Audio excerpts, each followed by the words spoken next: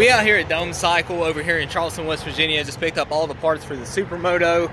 So all that will be good to go. If you guys need Honda, Yamaha, Kawasaki, got jet skis, ATVs, dirt bikes, side-by-sides. I also sell uh, Arctic Cat or Trexton now that it's called. Holler my boy Brandon. Uh, over here, he's in sales. He'll hook you up. I guarantee he'll probably beat anybody's prices. Hey guys, so we're back home now. Got the 2008 WR250X, which is our going to be our project buy for this little mini series that we're going to do. Got a whole host of parts in today, as you seen earlier in the video. So what I bought was all new plastic, front to back for this thing.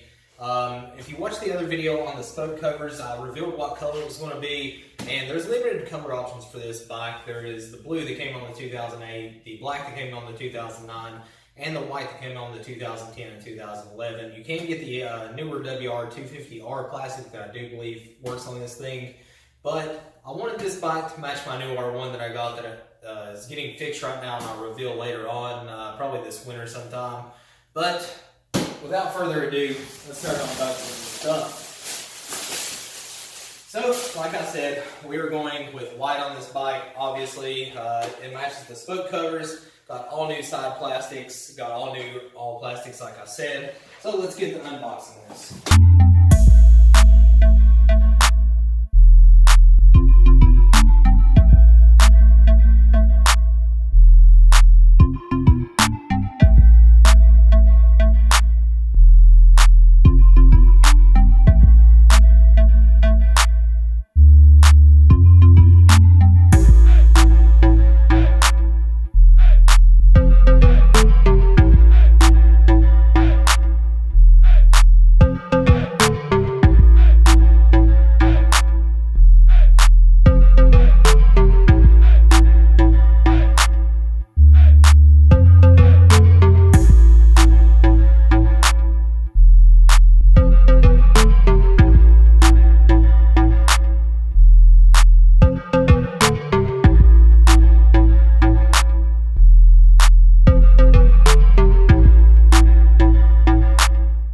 So here's just an overview of everything that we got. Uh, got the rear fender, uh, both side panels. We have both new number plates. We got the headlight bezel. We have new fork guards, which mine are black currently. They're going to be white.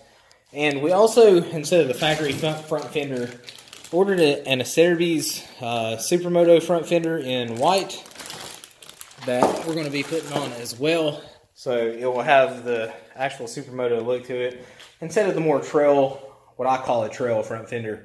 So this is probably the last time you're going to see it in this configuration here because we're going to be going all white. I'm not sure as far as graphics what I'm going to do yet.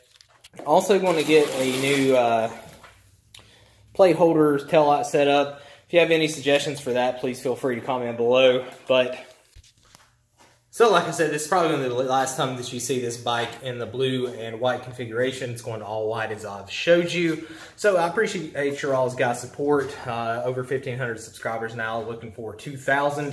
So if you like this video, give me a big subscribe, thumbs up, and I'll see you guys on the next video.